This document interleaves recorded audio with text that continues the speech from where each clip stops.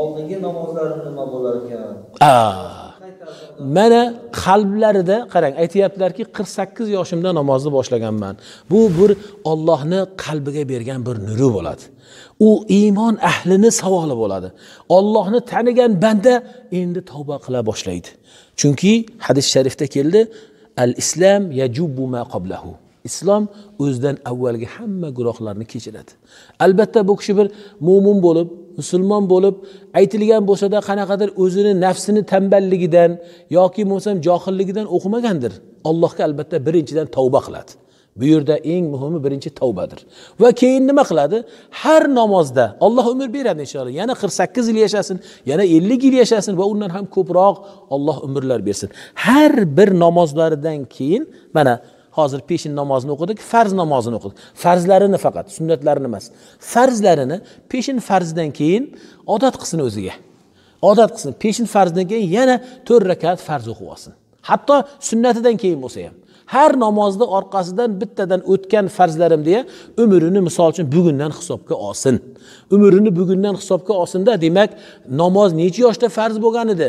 o'n ikki yoshda bo'lsa yana u yerda faqihlarni o'zini so'zlari bor.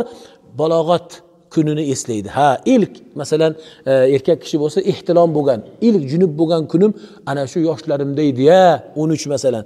Hisoblaydi o'n uchdan o'n sakkizgacha bo'lgan sonlarni hisoblaydi yillarni biladi. Ha demak mana shuncha. Allohim menga umr ber. Har namozdan keyin mana shunaqa farzlarni to'liq ado qilishligimni qarzlarimni qado namozlari deyiladi. Qazo namozlarini ado qilishligimni menga nasib qil deydilarda har namozlaridan keyin demak bir farzni o'qib qo'ysa allohdan inshaalloh yaxshilik bo'ladi. Endi bomdod namozida bomdod namozida albatta endi farz o'qilib bo'lgandan keyin bo'ldi boshqa namoz yo'q.